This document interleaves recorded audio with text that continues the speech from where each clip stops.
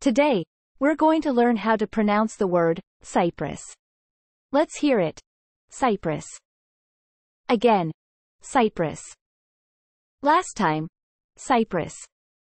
That's it for today. Thanks for watching, and don't forget to like and subscribe.